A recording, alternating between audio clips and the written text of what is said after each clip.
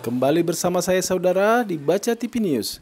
Saudara, jelang pemungutan suara ulang Polres Labuan Batu menggelar silaturahmi yang diikuti pasangan calon kepala daerah, Forkopimda, penyelenggara, OKP, dan tokoh masyarakat guna memastikan pelaksanaan pemungutan suara ulang berjalan lancar, tertib, dan aman.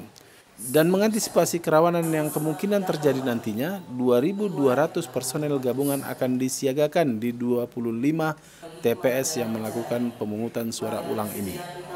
Jelang pemungutan suara ulang di 25 TPS yang nantinya akan berlangsung pada 24 April mendatang, Polres Labuhan Batu dan Kodim 0209 Labuhan Batu menggelar silaturahmi untuk mewujudkan tahapan pemungutan suara ulang pada pilkada serentak di Labuan Batu dan Labuan Batu Selatan berjalan damai dan sehat bertempat di Aula Yan Peter Mapolres Labuan Batu Sumatera Utara. Kapolres Labuan Batu AKBP Denny Kurniawan menjelaskan pihaknya bersama Kodim 0209 Labuan Batu berharap pasangan calon agar tetap berkomitmen melaksanakan pemungutan suara ulang dengan aman, tertib, lancar sesuai putusan MK pada beberapa waktu yang lalu. Dan pihaknya bersama TNI akan terus bersinergi untuk mewujudkan situasi yang tetap kondusif dengan berencana menurunkan 2.200 personel gabungan di luar dari prajurit TNI akan ada 2.200 personil yang akan mengamankan. Itu di luar teman-teman dari Kodim Batalion yang akan juga tergelar sama-sama dengan kami. Pak, ini poin tertentu penegasan kepada salah satu eh pasang calon ini Pak bila ada terjadi keributan untuk suara. Kami kembali mengingatkan untuk menjunjung sportivitas. Ya, silakan menggunakan strategi pemenangan, tapi tidak dengan menggunakan uh, masa dan uh, apa namanya uh, melanggar hukum. Ya.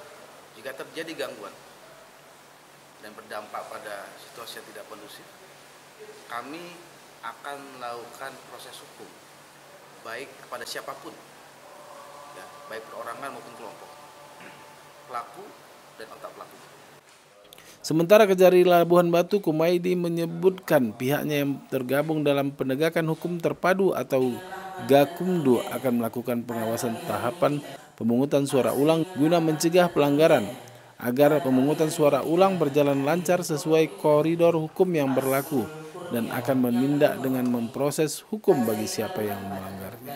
Sebelum kami sampaikan bahwa kami uh, salut kepada Polres uh, dan Dandim yang telah menyelenggarakan mengumpulkan uh, paslon dan tokoh-tokoh masyarakat untuk menyatukan persepsi gitu Pak supaya PSU bisa berjalan lancar. Jadi kami Kejaksaan Negeri Labuan Batu dalam PSU ini juga kami dengan adanya Gakumdu salah satu anggota kami yang masuk dalam Gakumdu akan akan segera untuk mengaktifkan gitu. Nanti nunggu pelaksanaan aktifnya itu dari uh, Banwaslu untuk supaya kami bisa mengawasi melakukan pemantauan terhadap pelaksanaan PSU tersebut sehingga di samping mencegah terhadap pelanggaran-pelanggaran juga kami akan melakukan proses penindakan bersama uh, anggota Gakumdu yang lain dari kepolisian. Demikian update Baca TV News kali ini. Nantikan informasi terbaru lainnya hanya di channel Baca TV News. Terima kasih telah menonton. Jangan lupa like, subscribe, and share. Terima kasih.